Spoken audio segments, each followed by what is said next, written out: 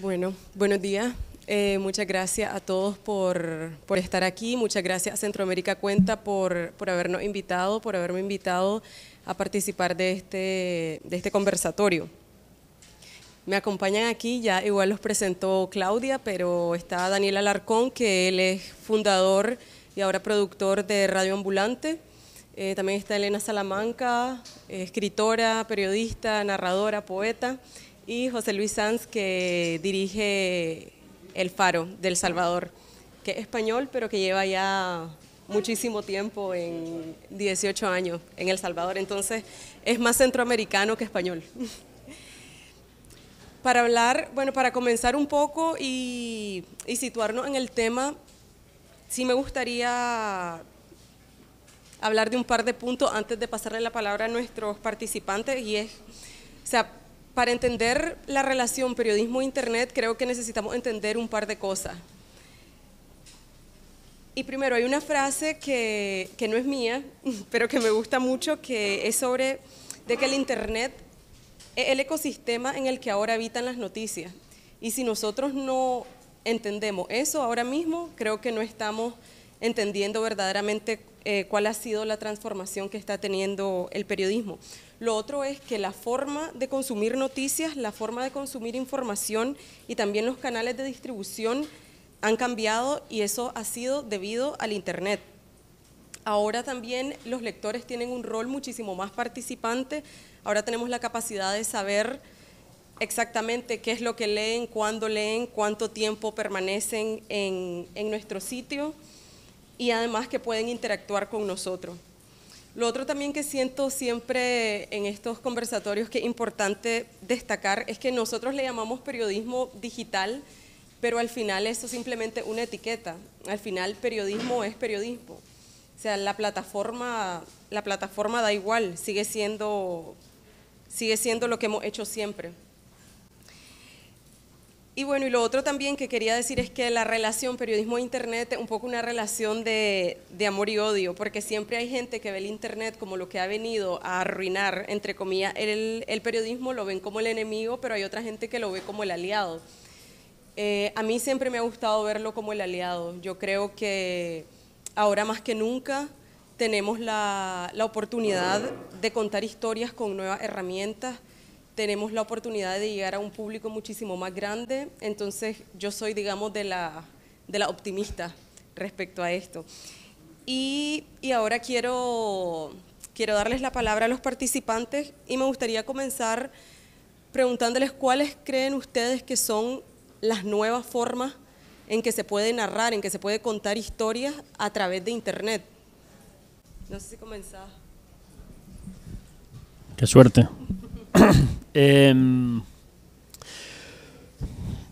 bueno, en realidad lo que pasa es que es difícil de responder porque yo creo que en Internet cada vez más cabe todo. Internet me parece que ni siquiera es una plataforma, va a ser cada vez más todas las plataformas, ¿no? O por lo menos una inmensa mayoría de las plataformas. Va a haber plataformas offline para la comunicación, para, el periodismo y para otras para otras formas de, de articular relato, pero pero en, Internet además creo que van a caber muchas plataformas. Entonces, en ese sentido, las posibilidades tienden al infinito. Eso para empezar.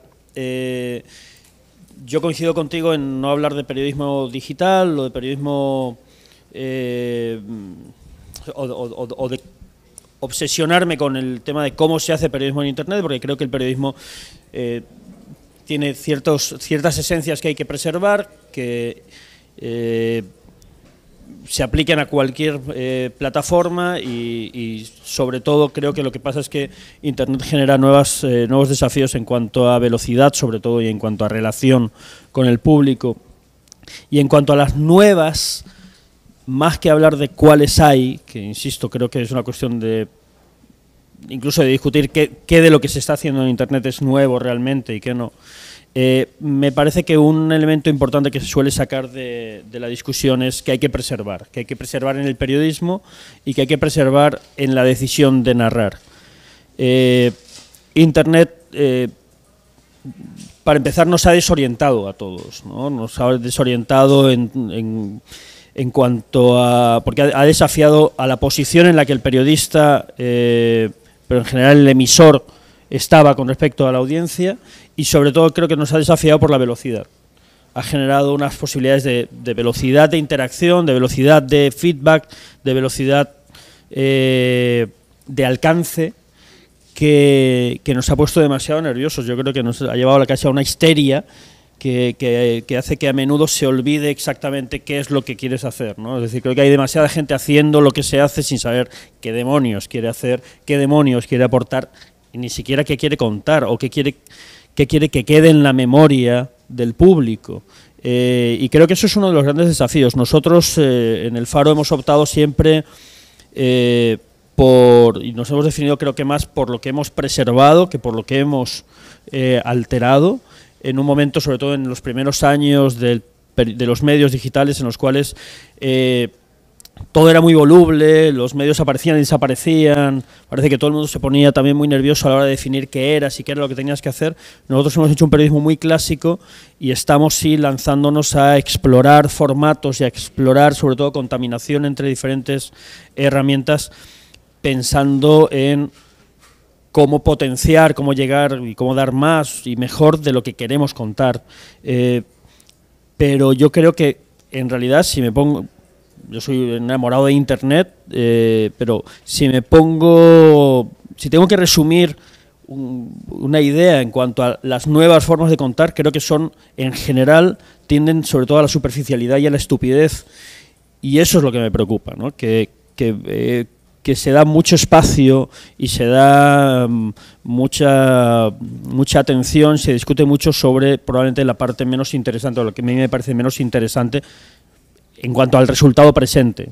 Creo que el meme, por irnos al extremo de lo que yo hago, eh, es una fórmula fascinante y entiendo que haya gente estudiándola y de hecho yo estoy ansioso por escuchar a gente hablando del meme. Me parece que es una micro cápsula conceptual fascinante como herramienta. Y creo que en algún punto eso formará parte de las herramientas con las que podemos jugar, pero creo que tendemos a obsesionarnos por la pincelada en lugar de pensar en qué hacemos con las pinceladas. Em, yo estoy un poco eh, conflictuada aquí eh, pensando en la mesa, porque hace rato que no hago periodismo así clásico creo que soy una de esas personas que no saben qué diablos contar en internet, como dice José Luis, porque me he dedicado a escribir algo así como pequeños ensayos de divulgación en medios electrónicos. Entonces, em, me da la impresión de que nuevas formas de contar eh, no hay, en el sentido de que contar es contar, pero sí creo que a la hora de hacer algo así como divulgación académica, el Internet sí es, em, me la ha jugado mejor que cuando trabajaba en prensa escrita, en el sentido de que en prensa escrita eh, eh, eh, no puedes abusar de algunos recursos que sí son posibles de usar en Internet, pero creo que lo que más me ha interesado a mí de ser bloguera o ensayista, o lo, que sea en línea, es la capacidad de encontrar empatía con un montón de personas, porque yo escribo ensayo histórico desde mi experiencia. Entonces, es, como súper ególatra, ¿verdad? Pero digo, para eso están también estos, estos espacios. Y a partir de eso sí hay como una gran identificación, creo que hay un sentido más horizontal de platicar y de conocer esa idea del lector que hay, que siento que es una idea súper idealizada, que tiene que ver mucho con la vanidad de quienes escriben eh, me están diciendo que me arregle la falta, em, que tiene mucho que ver con la vanidad de quienes escriben, de pensar que tienen un lector ahí que los está esperando con ansiedad y todo, ¿verdad? Que ayer nos preguntaban por el lector ideal y yo asumo que no me lee nadie, entonces eso es bueno porque no tengo ideales, entonces nadie me puede romper el corazón por eso. Perdona, pero eso es falsa modestia. Cuando estabas en el Faro eras nuestra bloguera más leída. Sí, José Luis fue, ha sido mi jefe dos veces en la vida, en la prensa gráfica como periodista y, en el Faro como director del Faro. Pero, pero volviendo a eso, creo que sí tiene un sentido de horizontalidad bastante interesante porque Eh, las redes te permiten estar cerca del autor que te gusta, algo así como Groupie también, pero que te dejan identificarte con, su experiencia. Entonces, eh, ayer salí yo acá por Managua con alguien que llevaba años leyéndome desde el faro y, hay como una gran reciprocidad de la experiencia. Entonces creo que eso sí es lo que convierte interesante esa escritura académica divulgada en redes o ese diario personal que lo que procura es buscar un elemento común. Eh, con, otras eh, lecturas. Y con respecto al meme, a mí sí me gusta el meme, eh, porque me parece que es un, para hacer un meme hay que tener mucho conocimiento de la cultura visual. Y entonces creo que los memes ayudan a, mirar hacia la cultura visual de, una época y soy fan de los memes que toman pinturas del siglo XIX, así los memes románticos, los memes medievales. Entonces creo que no habría que tomarlo tan a la ligera, no son tan ridículos. Bueno, hay un libro que se llama Memecracia, ¿no? Eh, y me parece que es bastante interesante mirar la capacidad de abstracción que hay en el meme. Eh, hace poco ah, estaba revisando un archivo de pintura eh, de una colección en El Salvador y había un retrato súper chistoso de un prócer que se llama José Simeón Cañas, que es quien abolió la esclavitud en El Salvador. Y este prócer tiene un discurso eh, que, lleva a la constituyente centroamericana de 1823 para pedir la abolición de la esclavitud entonces el meme empieza como vengo arrastrándome y si, arrastra, y si muriendo estuviera, muriendo vendría para hacer una propuesta benéfica para la patria. Entonces la pintura de los años 70 tenía este prócer y abajo decía vengo arrastrándome. Entonces a mí se me hizo que eso era un proto meme. O sea, para mí eso era un meme, lo compartí en Facebook, todo el mundo lo retomó, le pusieron otras notas, le hicieron otros memes, entonces creo que hay un asunto del sustrato cultural bastante interesante en el meme, que no era el tema, de esto, pero que bueno, es como otra forma de narrar. Eh, bueno, eh, no tengo mucho que decir sobre los memes. Eh, soy, soy, Daniel Alarcón. Represento un equipo y un medio que nace en lo digital, que es desde su ADN un, proyecto que simplemente no existiría sin internet, sin redes sociales, eh, sin la capacidad, por ejemplo, de, compartir archivos muy grandes de sesiones de audio desde Bogotá a Nueva York o a Ciudad de México o a California. ¿no? O sea, nuestro equipo siempre ha estado disperso por toda la región eh, y, hemos estado compartiendo, eh, trabajando juntos en Google Docs para escribir un guion, estando en, en una llamada de Skype con un productor en Tijuana, con mi editora eh, principal eh, eh, Camila Segura en Bogotá, conmigo en Nueva York y con otra editora en, Londres, ¿no? todos en la misma llamada, mirando el mismo documento, escribiendo juntos, escuchando el mismo audio y esas cosas simplemente no existirían sin, sin, estas, estas posibilidades que, que, que representa lo digital. Em, yo no sé cuántos han escuchado Reambulante, eh, entonces no sé si es el momento adecuado, pero quizás yo quería poner un, unos clips de dos minutos, que es como las voces de Reambulante, para que tengan una idea. Es, eh, es realmente, espera un segundito, es lo, que nosotros hacemos es audio, eh, es periodismo en audio, y cubriendo toda América Latina, y, por lo, yo, lo, que, lo que, a lo que me refería era el, el, eh, la cobertura y el equipo que está disperso por, por toda la región. Entonces eh, van a ver un poco de por qué tenemos que, que hacerlo así.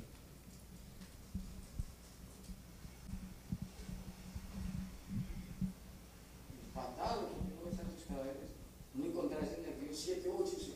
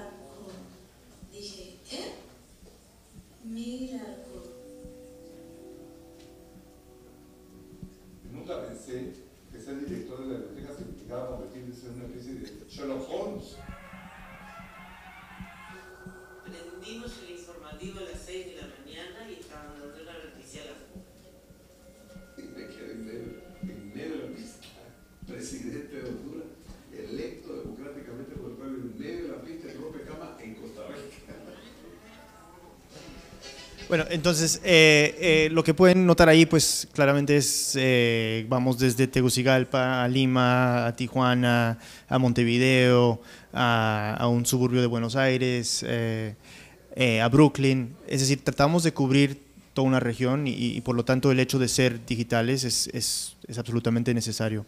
La otra manera que también se ha mencionado bastante y, y- y- quiero enfatizarlo en nuestro caso, es que si, si, si lo digital ha cambiado la manera de producir, también ha cambiado la manera de, de que, de relacionarse con la audiencia. ¿no? O sea, nuestro producto, eh, nuestro contenido es regional, nuestra audiencia también es regional.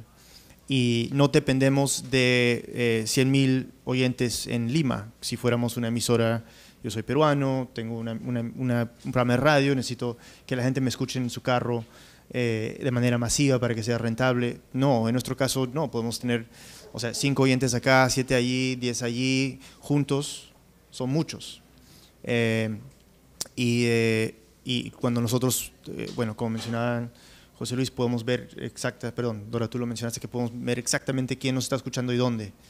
Y a mí siempre me asombra que una historia que producimos de Chile, y esto es siempre, ¿ah? Una historia chilena, por ejemplo, se escucha, el 25% de los oyentes son chilenos, pero el 75%, el resto, vienen de toda América Latina y Estados Unidos. Entonces, eh, las historias que son buenas cruzan fronteras.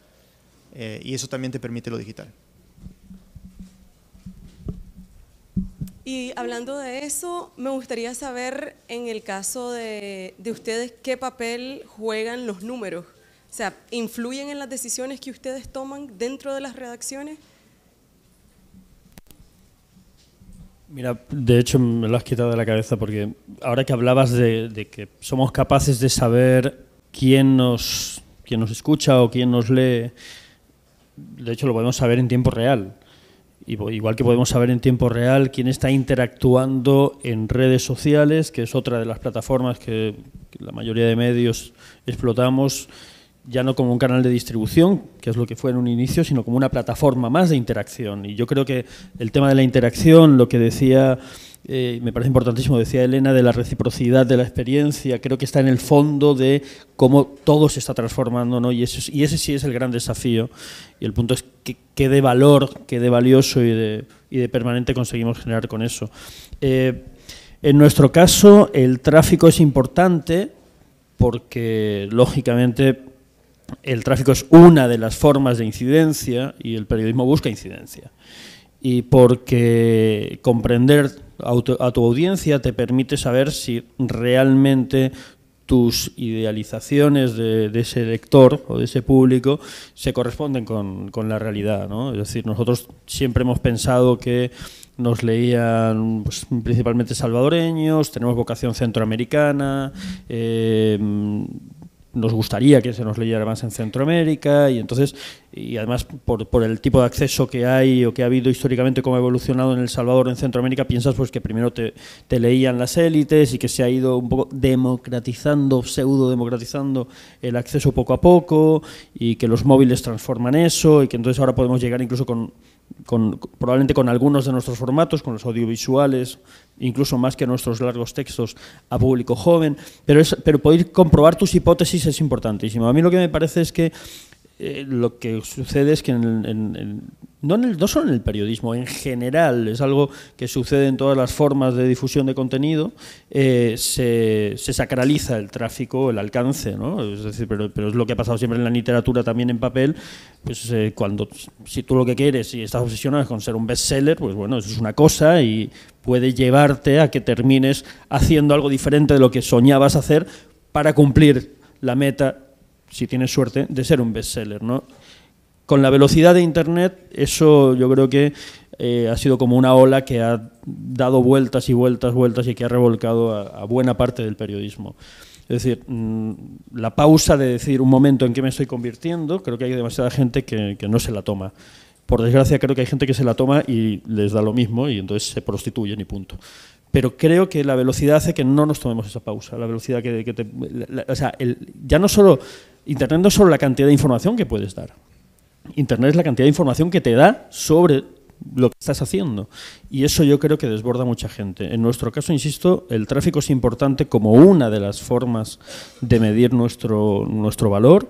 Eh, nos permite saber que se nos lee más en Estados Unidos que en el resto de centro, que, fuera del Salvador en Centroamérica, lo cual evidentemente para mí es una herida y es quiere decir que algo no estamos haciendo bien. Eh, ¿Perdón?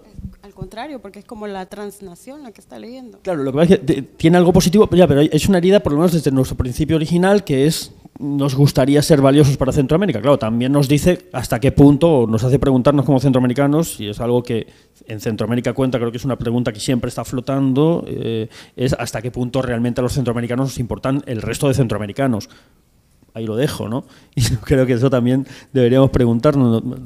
Una vez en España me preguntaban en una conferencia, es que el periodismo internacional que se hace es tan malo, no me cuentan lo que sucede en Perú. Yo, mira, no te interesará tanto cuando no entras a leer los medios peruanos que los tienes a la misma distancia que los medios españoles. O sea, también un poco, esto es como lo de los documentales, ¿no? Que todos queremos más, pero nadie los ve. Pues creo que nos genera un montón de preguntas, pero respecto a esto último que dices, Elena, me parece muy importante. Yo recuerdo conversaciones que hemos tenido sobre el tema de lo transfronterizo. ¿no? Y, ahí me parece que hay algo. Y yo prefiero decir transfronterizo porque el concepto de nación creo que también. mm, si, lo atamos solo al territorio, pues ya lo limitamos. Pero en cualquier caso, creo que eh, eh, cuando hablamos de Internet también tenemos que preguntarnos por dónde explorar y qué no estamos haciendo. ¿no? Es decir, a qué, qué, qué- tránsitos de, de Internet que, nos ofrece Internet no hacemos. Y uno es ese. Nosotros como medio online, igual que Radio Ambulante, nacimos eh, en Internet. siento que tenemos una duda tremenda con, con pensarnos más allá de nuestras fronteras ¿no? y tener una propuesta de valor para más allá del 15 o 20% de lectores que tenemos en Estados Unidos, mayor todavía para los salvadoreños y los centroamericanos en Estados Unidos. Y creo que no la tenemos.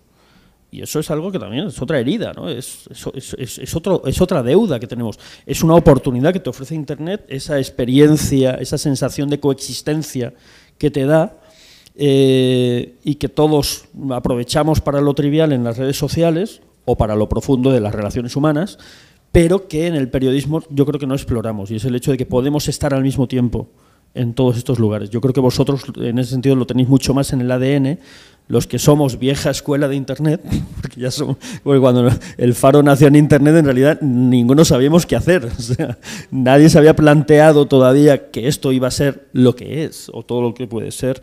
Entonces, en ese sentido, nosotros somos como los viejitos todavía adaptándonos a nuestro propio medio, ¿no? Eh, pero lo cierto es que el tema de la globalidad o la, la falta de barreras eh, o la ausencia de barreras es algo que creo que no exploramos lo suficiente.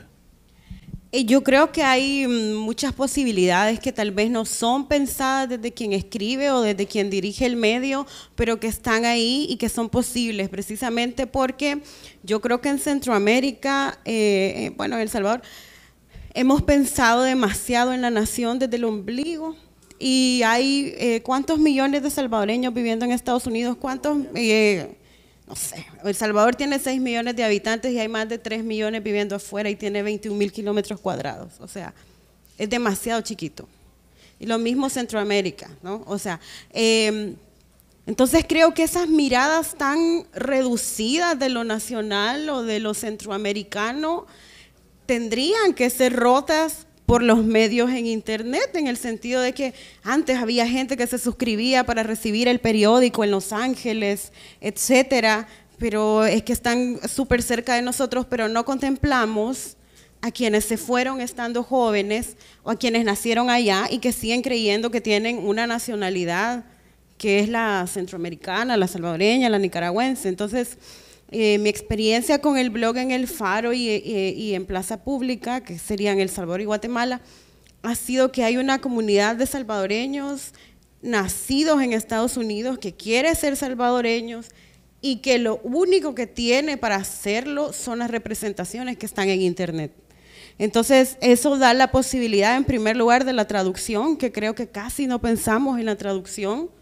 Eh, eh, yo, ya tengo como dos personas que me traducen y yo creo que eso es súper importante porque eso permite que lo que estoy pensando lo pueda pensar quien nació en 1992 en Los Ángeles o quien nació en el 97 en Milán, pero que quieren saber qué está pasando allá. Y pienso que está un poco desaprovechado pensándolo desde los medios digitales. Perdón, eh, y añado lo que dices, o, o- o meto una cuña, y es relacionándolo con el tema de, eh, de las formas de narrar. Internet ya no es solo texto, y en ese sentido, por ejemplo, la las- la- el peso enorme que está teniendo la imagen, y por eso decía al principio que parece que, que mm, salta más a la vista la, tendencia a lo superficial, pero lo cierto es que el valor del sonido, de los sonidos, no solo de las voces, pero también de la entonación, incluso alguien a quien no, aunque en radio el tema de la traducción es muy complejo, pero el valor de los sonidos o el valor de la imagen que en Internet de manera natural se puede eh, integrar al texto, también ofrece mm, oportunidades de superar barreras idiomáticas, es decir, porque cambias subtítulos, juegas con, es decir, al tener todo al mismo tiempo, Internet te ofrece la posibilidad de que tus textos, como tú decías, tus ideas se piensen, pero además ciertas sensaciones se trasladen de, manera transfronteriza.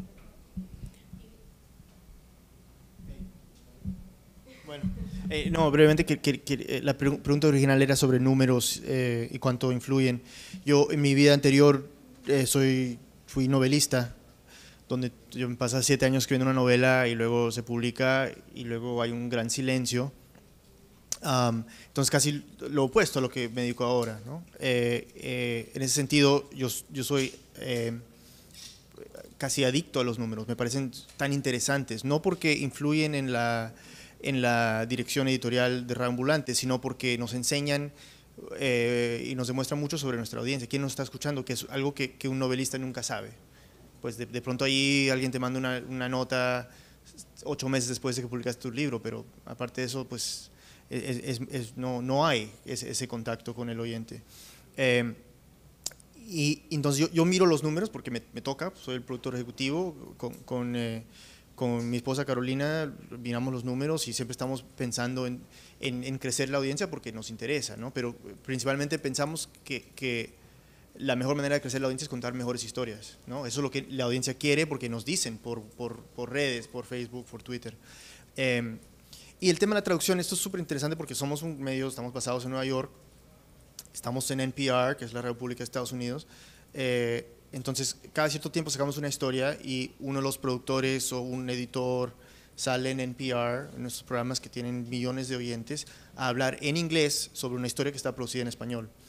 Y voy a dar un ejemplo porque lo, lo he estado pensando porque me sorprendió sobremanera. Eh, habla- hicimos una historia con una productora colombiana eh, eh, franco-colombiana sobre eh, cirugía plástica eh, clandestina en, en Medellín. Una historia de dos partes y, eh, y- y- y sobre el, el- el efecto y el- los peligros que pueden correr el- las, las mujeres jóvenes que se someten a estas cirugías. Am, y nuestra editora Camila, que editó la, la- la pieza, la entrevistaron en NPR en inglés un domingo y ese mismo día se escuchó, o sea, entre el domingo y el lunes, esa historia en español se escuchó casi 200 mil veces, ¿no? Entonces el impacto de estar, bueno, uno en un medio nacional en Estados Unidos eh, eh, es, es increíble y no todos los que escuchan NPR eh, son gringos que no entienden español, o sea, hay muchos latinos que escuchan esas- es- eh, esa entrevista muchos que no son colombianos, pero que escuchan eso y les interesa porque ven que eso pasa también en, en- en mi país y en otros países. Entonces se sienten identificados y van directo a, a la página web de NPR, Speech and Play, y escuchan las dos partes de la historia, o sea, un documental de radio de 40 minutos sobre un tema muy local, muy paisa, muy de Medellín, pero que tiene eh, im- impacto y consecuencias en, en todo el continente. Entonces e- eso, eh, para nosotros creo que hemos encontrado una manera de balancear entre lo local y lo regional eh, y, los números lo, lo comprueban. Y bueno, ustedes ya han hablado un poco o sea, un poco de los desafíos, ¿no? Que hay en esta, en esta era, digamos, en la era de la inmediatez. Lo que pasa es que también los medios, o sea, creo que tienen un, o sea, tienen un gran desafío porque tienen que aprender a trabajar un poco también a dos velocidades, ¿no? Uno es, o sea, contar la noticia ya, lo que está, porque sí lo tenemos que contar, pero también, o sea, en esa desesperación, de pronto, o sea, se está sacrificando cosas como la credibilidad que eso creo que es lo que no se puede hacer. O lo otro es que simplemente como se ve que otros medios están haciendo cosas y que le funcionan y se ven números y demás, entonces bueno, vamos a probar esto y se cae en lo superficial. Pero además de esos desafíos también está el, o sea, Internet trae consigo, o sea, todo un dilema del modelo de negocio, principalmente de los medios. Entonces, ustedes que son nativos digitales, o sea, ¿cómo, ¿cómo están haciéndole frente a esto? Con ganas, con muchas ganas. Eh, a mí me parece que, eh, aquí estamos cambiando totalmente de, cancha de conversación porque yo siempre me parece que el tema del contenido y el tema del medio, eh, cuando hablamos de periodismo, del periodismo y, la prensa, están cada vez más disociados. Es decir, eh, o por lo menos yo trato de mantenerlo separado para que mm, para que mi medio no se convierta, para, que mi periodismo no se convierta en lo que necesita mi medio para sobrevivir. Eh, que esos son pocos medios, digo, los que se pueden dar ese lujo. O sea, ahora se ve muchísimo más que están los, o sea, en las áreas de venta están muy conectadas con las áreas de redacción. Obviamente que no es, o sea, que no es que se va a producir contenido que venda, sino que tienen que estar muy conectadas para, porque al final lo que se necesita también es una cuestión de, sobrevivir. ¿O no? Es decir, es que lo que tú llamas lujo yo lo llamo decisión. Es decir, yo esto lo he dicho y lo repetiré, es decir, creo que la sobrevivencia de los medios está muy, muy sobrevalorada. Es decir, es que mm, hay medios centenarios y me parece muy bien, es fantástico que haya medios centenarios. Yo creo que un medio centenario debe preguntarse qué ha hecho en 100 años. Yo tengo 20 años y, bueno, el año que viene cumplimos 20 años en el Faro, que ya es, ya es para un medio digital, y, tendremos que hacer balance, que hemos hecho bien, que hemos hecho mal, ¿no? Decir, pero sobrevivir en sí mismo eh, no tiene mucho sentido desde el punto de vista de valor del contenido. Em, y yo tengo un medio para hacer periodismo, no tengo un medio para tener trabajo. Que eso, sin, sin demeritar el trabajo, pero tener trabajo, hay muchos trabajos y lo importante para mí es que sean dignos. Y tan digno es eh, servir tragos en un bar como eh, barrer una calle o, o, hacer muebles de madera o eh, escribir. El punto es las cosas creo que hay que hacerlas desde una noción de búsqueda de felicidad y de, y de, dignidad. Y no, y no me abstraigo porque sí, simplemente es que si perdemos la perspectiva de eso, en realidad no estamos siendo sujetos, estamos simplemente siendo pues, cosas que flotan en la corriente. Eh, entonces, no me trago el rollo de es que tuve que hacer esto. No, no me lo trago. No me lo trago, no lo aplaudo y no me parece que sea cierto que es que te ves obligado a hacer eso. No, no, no lo es. O sea, si tú quieres hacer más mal periodismo, o sea, tú te vendes, eh, o sea, te compran si te vendes. Y tú eh, degradas tu aporte de contenido, pues, porque no es solo, esto no aplica solo para el periodismo, eh, degradas tu aporte y la calidad de tu aporte si tú lo decides. Y si, si o sea, fácil no es, pero no es un lujo, es una decisión. Pero lo que te digo es, ¿cómo, a ver, reformulo, ¿verdad? ¿Cómo hacer periodismo? Y también, o sea, porque es que tenemos que vivir de algo. Entonces, o sea, ¿cómo hacer periodismo en esta era y lograr que el medio, o no veamos como medio, sino, o sea, poder seguir haciendo periodismo? Porque para poder hacer periodismo necesitamos también tener recursos para viajar y, contar historias. Entonces, ¿cómo hacemos periodismo sin que... Te, pongo un ejemplo, tres cositas breves. Una, con esto de viajar y con dinero para viajar, nosotros no tenemos dinero y viajamos. Es decir, ¿por qué? Porque el dinero que tenemos lo invertimos en viajar. Yo creo que el Faro, sin ponernos por encima de nadie, ha hecho más cobertura internacional que la mayoría de medios impresos de El Salvador y me atrevo a decir de buena parte de Centroamérica en los últimos 15 años. Y somos infinitamente más pequeños y además no tenemos beneficios.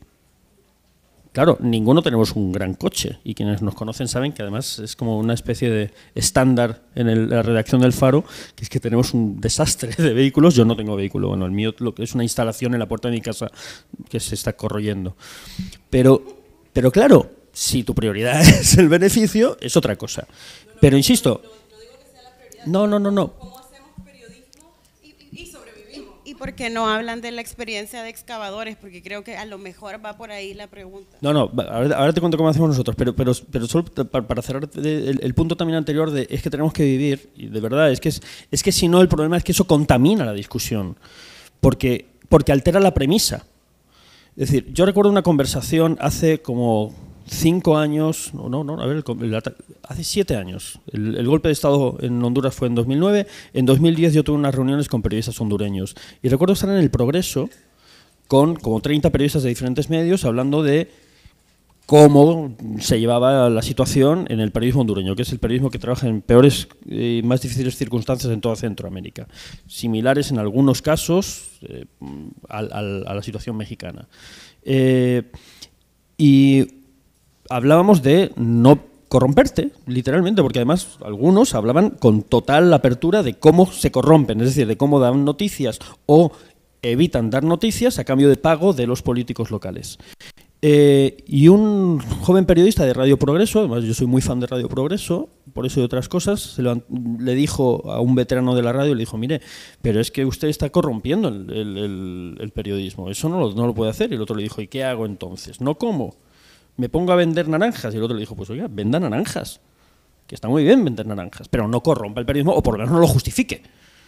Entonces, insisto, no lo digo yo, es simplemente una premisa. Ahora, si hablamos de cómo sobrevivir, hay caminos. Es decir, nosotros eh, hemos encontrado los nuestros de momento para seguir capeando el temporal con mucha cooperación eh, internacional, lo cual no todos los medios en todos los lugares lo la reciben. Eh, apostando, teniendo un 20% de ingresos por publicidad, eh, generando ingresos por la venta de contenidos, vendemos notas a medios internacionales que las quieren, no es que entre mucho, pero algo de dinero entra, organizando el Foro Centroamericano de Periodismo, que durante los primeros años nos costaba dinero, pero ahora nos da un pequeño, pequeño, pequeño margen de, beneficio que reinvertimos en periodismo y con eso sostenemos la, redacción. Y hemos creado en los últimos dos años y pico la excavación ciudadana, que es una forma de tratar de monetizar la fidelidad de, nuestros lectores y generar una comunidad de lectores, que ahora mismo son 750 excavadores y excavadoras, eh, que nos hacen un aporte eh, una vez al año o mensual para sostener el periodismo. Con eso, el Faro tiene un presupuesto anual, y lo digo porque es público, que ronda los 800.000 dólares al año. Pero claro, es que lo invertimos en periodismo. Y con menos presupuesto que otra gente, haces cosas que otra gente no hace. Pero ojo, hacer esas cosas también genera oportunidades de negocio. Porque la idea de que degradar tu apuesta es una vía de sobrevivencia creo que es una trampa el periodismo de calidad tiene mercado. Nadie dice que sea fácil, pero es que tampoco es fácil sobrevivir eh, vendiendo mal contenido. ¿Vendiendo naranjas? ¿O vendiendo, naranjas?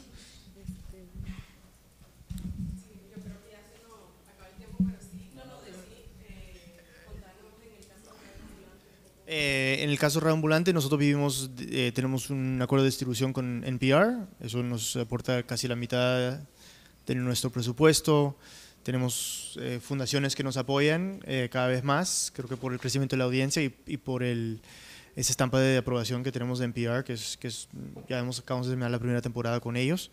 Eh, recibimos como, como el Faro, nuestra especie de excavación ciudadana, cientos de personas que nos aportan 3 dólares al mes o 5 dólares al mes o 100 dólares al año o lo que sea, pero recibimos donaciones y eso nos ayuda bastante vendemos camisetas, hacemos consultoría, consultorías, hacemos talleres, hacemos shows en vivo.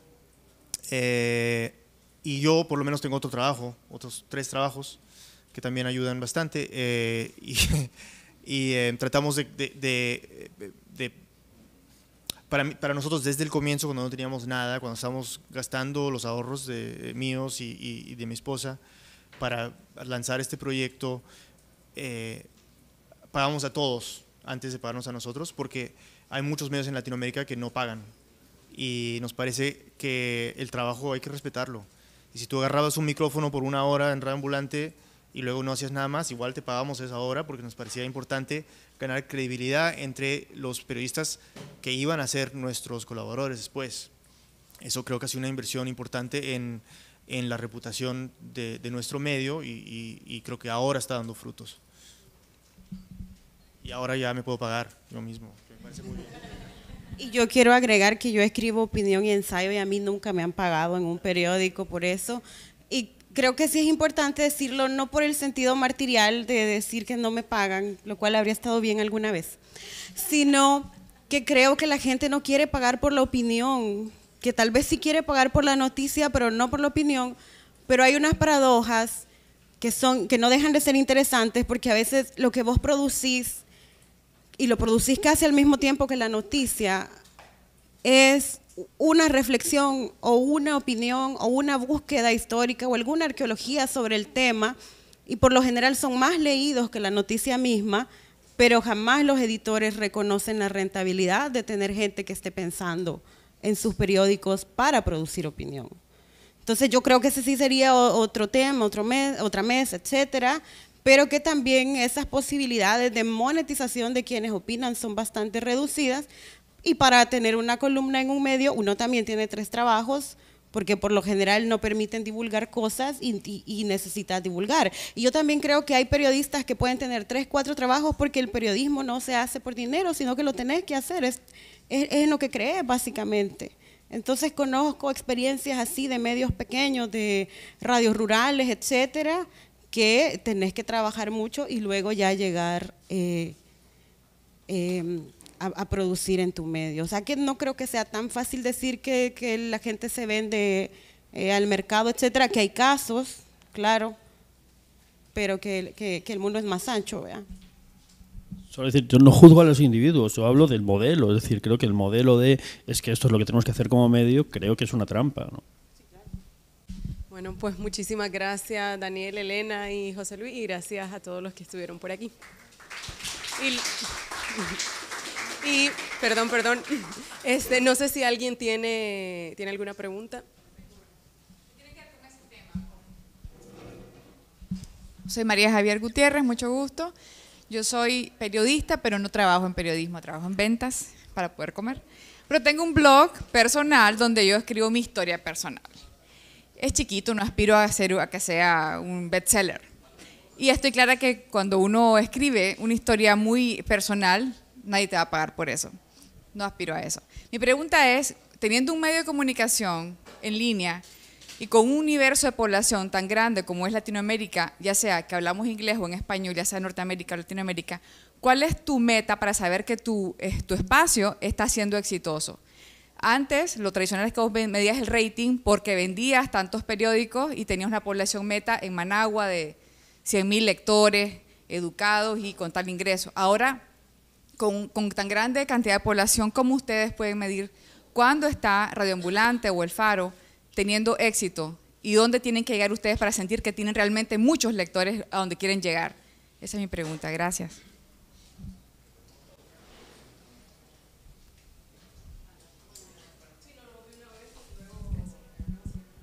Buenas, Alonso Chávez de revista Literofilia. Tengo una pregunta para José Luis Sanz. Mi pregunta es, ¿vale la pena luchar por la inmediatez?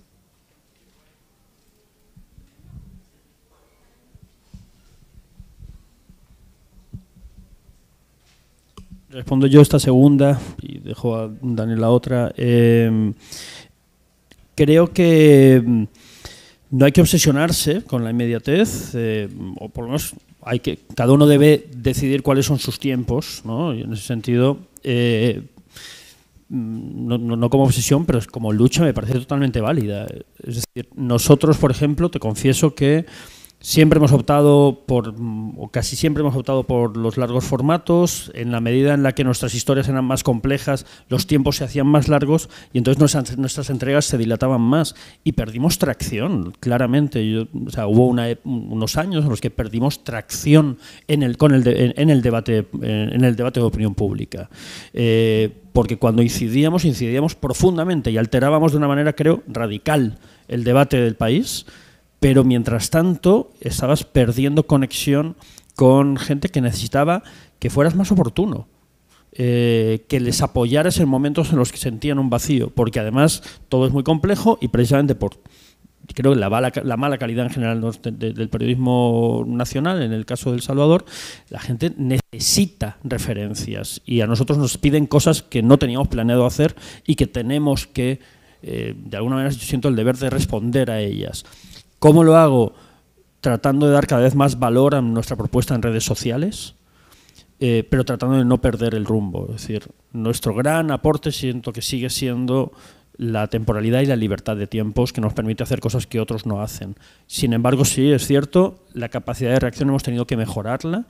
Opinión, y estoy totalmente de acuerdo contigo, Elena, es un tema que tenemos que encarar, el hecho de que no se paga, nosotros no pagamos por la opinión y no, no presumo de ello, vamos, eh, parece que es un- una cosa que hacemos mal, eh, pero la opinión nos permite también a veces reaccionar más rápido eh, y las redes sociales como plataforma informativa. Bueno, yo, yo voy a responder la pregunta anterior, que era sobre audiencias y cómo definir el éxito. Bueno, tenemos cifras que podemos ver cuáles son las historias y, que- y de dónde se están escuchando y, y- y, eh, y- cuántas veces. Pero, pero a mí me gusta definir el éxito de, de una manera un poco más compleja, más sutil. Eh, eh, se puede ver en, en- en redes sociales cómo la gente está compartiendo la historia, eso me, me- me parece fascinante. Eh, podemos, la, la gente nos escribe y nos dice, eh, una- me acuerdo mucho de, de una historia que hicimos en la segunda temporada de Radio Ambulante donde una, eh, una chica nos escribió en inglés para decirnos que había escuchado una historia de, ra- de Radio Ambulante con su abuelita que no hablaba, que no hablaba españ- eh, inglés y ella eh, entendía español pero no hablaba y habían escuchado esa historia y, y habían tenido un momento muy, muy tierno, intergeneracional, cruzando fronteras de, lenguaje, de idioma y, y eso para mí es el éxito también. Eh, a, mí me parece que, que- que hoy en día se mide también por las interacciones que uno tiene con la audiencia. Cuando tú pides en redes un consejo, una pregunta, lanzas una encuesta y si la gente responde, eso es un éxito. Hicimos un- un- una encuesta reambulante este año, encuesta de audiencia y recibimos más de mil respuestas. ¿no? Eso para mí me dice que, que- porque tienes que asumir que uno de cada diez eh, esos son los que responden. Entonces, eso, eso, eso te, te dice, bueno, hay gente que solo, no solo nos escucha, sino se va a tomar el tiempo de, de- de colaborarnos con, con esta encuesta de cinco minutos. Am, cuando hacemos eventos, eventos públicos en Nueva York o eh, en California, o donde sea, y se venden todas las entradas, eh, eso es otra manera de, de- de medir el éxito. La última vez que hicimos un show grande en vivo, el día del, del show tuvimos que añadir 100 tickets más eh, porque había tal, tal, tal nivel de interés. Am, y lo- lo- o sea, mi siguiente sueño es tener el, el presupuesto para hacer uno de esos shows en vivo, ir en una gira por América Latina, porque eso no hemos podido hacer por, por- simplemente por cuestiones de presupuesto. Pero yo sí creo que podríamos llenar un, un, eh, una sala, quiz- quizás en Managua, quizás en Bogotá, quizás en Lima, en Buenos Aires, en México, ¿no? Y, y, pues si alguien quiere poner 250 mil dólares para armar ese tour, aquí voy a estar, aquí atrás y podemos conversar, ¿sí? Cheque a nombre de Radio Ambulante, no. Eh, no, pero, pero esas son maneras que, sobre todo el impacto, co- como decía antes, yo soy eh, novelista, nadie te escribe, de vez, alguien te lee muy de vez en cuando, eh, y, eh, y uno escribe por sus propias razones, obviamente, ¿no? Pero al contar este tipo de historias y ser partícipe de un equipo que puede llevar historias latinoamericanas a toda una región, a todos los que hablan es- español, pues todos los días disfruto mucho el trabajo, disfruto mucho de trabajar con mi equipo, disfruto mucho de trabajar con esos audios y, eh, es un privilegio y cuando el- la audiencia te, te- corresponde es pues lo máximo. Pues muchísimas gracias